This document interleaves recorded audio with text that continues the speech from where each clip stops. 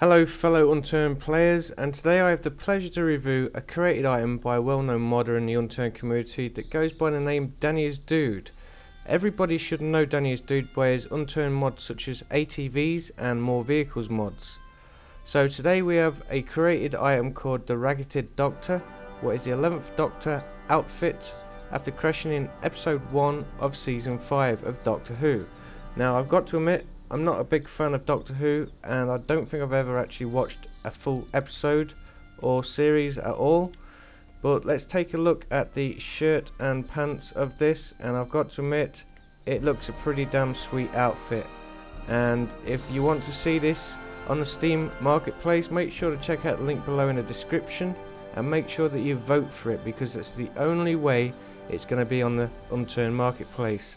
So I will see you guys next time see ya